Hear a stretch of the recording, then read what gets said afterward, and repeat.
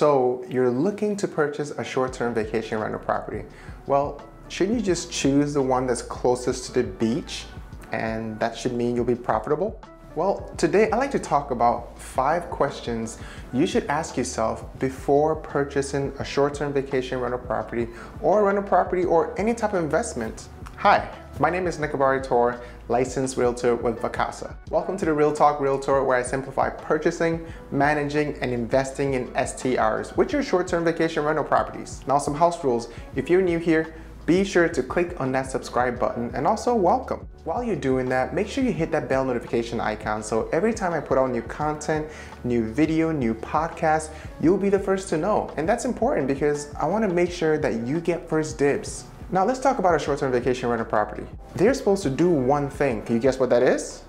It's not what you think. Run smoothly is what they're supposed to do. Run smoothly. I know what you're thinking. You're thinking it should be profitable. Well, yes, but if your operation is running smoothly, that means guests are happy. You're posting pictures of your property. If they're reviewing your property and giving it a really good review, those are all the things that over time, and we want to talk about longevity, or we want to look at the longevity because you're not here to make money now. You're here to make money throughout every year. You want to be able to have an increase in what you're making for that property. Speaking of which, that leads me to the first question you should ask yourself, and that is, what type of management are you looking for? Now, when I say management, I'm looking for you to ask yourself, how do you want the property to be run? Are you going to be doing the bulk of the work? Are you just looking for someone to just post pictures, you know, write a really good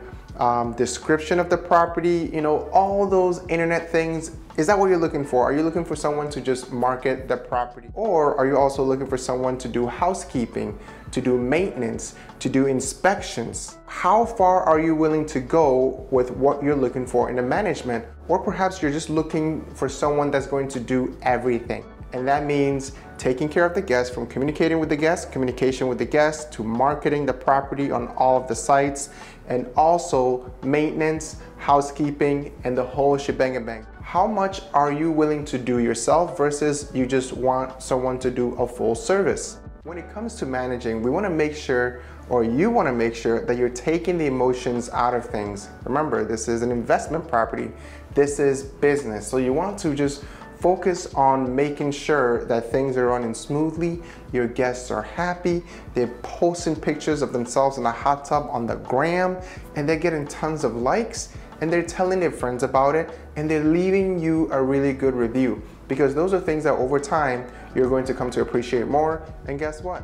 How your property is managed is not only a reflection on you as an owner, but it's also a reflection on your property, which is what people see. The second question I think you should ask yourself Second one is, are you going to go through this venture alone, with a partner, or as an entity? Now, let's go back to managing because it's going to matter how you manage the property. If you're doing it alone, well, that just means all the responsibility is on you. If you're doing it with a partner, then that's someone else you have to check with, check in with, perhaps if you're looking to remodel, uh, decorate. Also not to, you know, mention proceeds as well. You know, how will proceeds be split? On the flip side, it also means that you have some help. So if you're both trying to run this property yourself, then you can have someone that's going to focus on the maintenance, perhaps the housekeeping, and the other person that perhaps will do the marketing and outreach and, you know, making sure your property stays booked. If you're doing it with an entity, then that means you have a little bit more leverage. Perhaps there's people working for you, perhaps housekeepers, maintenance,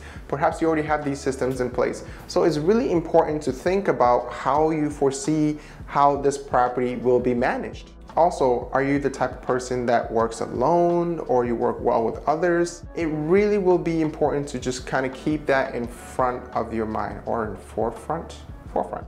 You can also just flip this question a little bit and say, well, would it be best that I go on with this venture alone, with a partner, or as an entity? Because those are all going to give you different resources. I think the third question you should ask yourself is, when would you like the property to go live? The property getting signed up and set up and all of that doesn't mean it's going live yet. Before the property go live, you need to have pictures, descriptions, you probably need to do an inspection of the property. What about if you have some repairs that you have to do, if you're looking to remodel things? All of that could be done ahead of time before the property goes live because when the property goes live, that's when your guests are able to see the property. Your property going live means that it's now available for booking. Guests are looking at it, they're comparing it to other properties, and now they can start to plan their vacation or plan their stay at your property.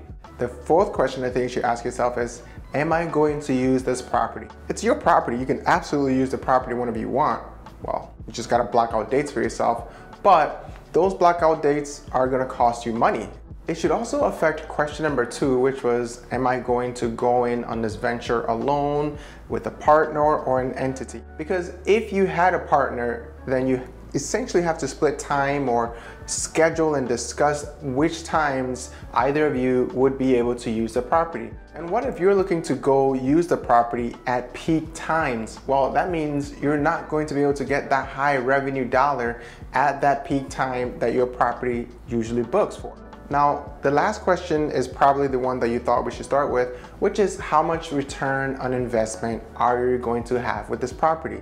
That's where your homework should come in. I don't really look at just, you know, how much are you going to make this month, this year. I just look at the whole picture, you know, how much can you make and then continue to make consistently and continue to grow. That's what I focus on. So those are the five questions that I think that you should keep in mind if you're in the market or shopping for a short-term vacation rental, as well as also just a rental property.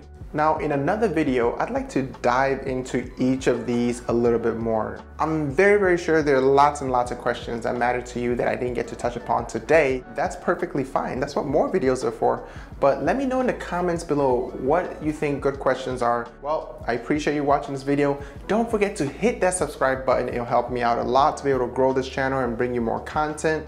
Well, my name is Nekabari Tor, the Realtor, and I'll see you in the next one.